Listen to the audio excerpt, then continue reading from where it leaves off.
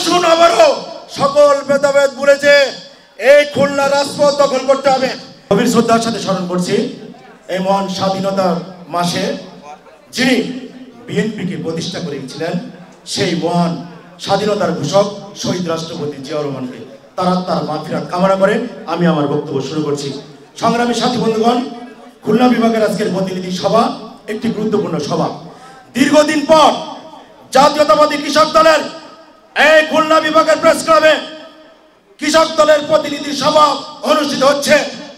আমি গতকাল এসেছিলাম, রাত বারোটা পর্যন্ত এখানে ছিলাম। কৃষক দলের নেতৃবৃন্দর যে স্পিরিট তাদের যে আনন্দ, তাদের যে আগামীতে আন্দোলন করার যে স্পিরিট দেখেছি, রাত বারোটা পর্যন্ত এখানে কাজ করেছি। আমার খুব ভালো লেগেছে, খাওয়া দাওয়ার কথা মনে থাকে না। তার কারণ, কেন? আমরা এমন একজন, দুইজন নেতা পেয়েছি। কৃষক দল যাদের হাতে তুলে দিয়েছেন ভারপ্রাপ্ত চেয়ারম্যান তারেক রহমান, কৃষিবিদ জাবির তুইন এবং শহীদুল ইসলাম বাবুলের হাতে। আমরা কৃষক দল করতে এসে এত আনন্দ পাই, রাত দিন চব্বিশ ঘণ্টা কাজ করি, তার কারণ এমন নেতৃত্ব পেয়েছি, আমাদের কষ্ট লাগে না, আমাদের কাজ করতে ভালো লাগে। তাই এই খুলনা বিভাগের যে সমস্ত নেতৃবৃন্দ আজকে এখানে অংশগ্রহণ করেছেন আজকে শপথ নিতে হবে। ছাত্র আন্দোলন হয়েছে। কৃষক আন্দোলন আমাদের করতে হবে। কাদের নেতৃত্বে কৃষক দলের দুইজন ব্র্যান্ড তুইন বাবুল ব্র্যান্ড। তুইন বাবুলের নেতৃত্বে ঢাকা রাজপথ এখন কাদের দখলে? ঢাকা রাজপথ আন্দোলন হলে কৃষক দলের দখলে থাকে। আমার বাড়ি খুলনা বিভাগে, তাই আমি গর্ব করে বললে আপনাদের সামনে খুলনা বিভাগের যে দশটি জেলার নেতৃত্ব যাদের হাতে তুলে দিয়েছে, যাদের হাতে আগামীতে তুলে দেওয়া হবে, আপনাদেরকে রাজপথ দখল করতে হবে। আপনাদেরকে প্রতিটি ইউনিয়ন, থানা, জেলা শক্তিশালী করতে হবে। আমরা যে দায়িত্ব পাবো, যারা দায়িত্ব আমাদেরকে দেবেন, তারা সেই দায়িত্ব সঠিকভাবে পালন করবেন। আমি যেহেতু দপ্তরে কাজ করি প্রতিনিয়ত জেলা, থানার সাথে যোগাযোগ করি। আমি জানি কে কাজ করে, কে করে না। তারপর আজকে কথা দিয়ে যাচ্ছি। যারা কাজ করবে, তাদের পক্ষে আমি আমার প্রেসিডেন্ট সেক্রেটারির পক্ষে কথা বলব তাদের জন্য কথা বলব।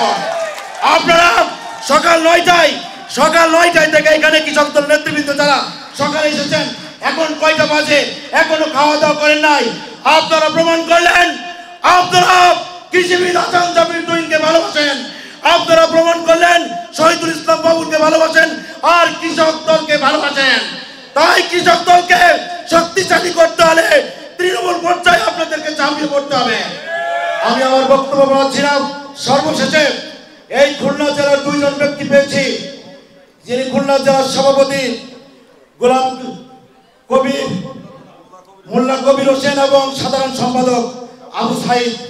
রক্তিন দুইটা ব্যক্তি পক্ষ থেকে তাদেরকে ধন্যবাদ জানাই। তার সাথে আপনারা যারা কাজ করেছেন, সকলকে ধন্যবাদ জানাই। আসুন, সকল ভেদাভেদ ভুলেছে। কৃষিবিদ হাসান জবির তহিন, শহীদুল ইসলাম বাবুল, টিএসআই খুলনা বিভাগ একটি ব্রান্ড এই টিএসআই রাত দিন চব্বিশ ঘণ্টা আমাদের সাথে যোগাযোগ করে কীভাবে সম্মেলন করব রাতে ঘুমাই উনিও ঘুমাই নাই, আমরাও ঘুমাই নাই। প্রতিনিয়ত ফোনে যোগাযোগ। কি হয়েছে? ব্যানার হয়েছে কিনা? ফেস্টুর হয়েছে না? খাওয়ার কি অবস্থা? প্রতিনিয়ত যোগাযোগ করেছেন। তার জন্য কৃষিবিদ তার জন্য কৃষিবিদ আসান জাবির তুহিন শহীদ ইসলাম বাবুলের পক্ষ থেকে ইঞ্জিনিয়ার টিএসআই যখন একটা করতালি সকালে। আজকে এই প্রতিনিধি সভা অবশ্যই সফল হয়েছে। এই প্রতিনিধি সভা থেকে আমি আপনাদেরকে বলে দিতে চাই, আসুন আবারও সকল ভেদাভেদ যে এই খুলনা রাজপথ দখল করতে হবে। আমাদের যদি পুলিশ গুলিও করে, আমরা যারা কৃষক দলের নেতা আছি এসেছেন বলেন আপনারা পালিয়ে যাবেন। আমরা রাজপথ দখলে রাখব। ইনশাল্লাহ আসুন এই ছাব্বিশের মাসে, স্বাধীনতার মাসে সকলকে শুভেচ্ছা অভিনন্দন দিয়ে আমি আমার সংক্ষিপ্ত বক্তব্য শেষ করছি।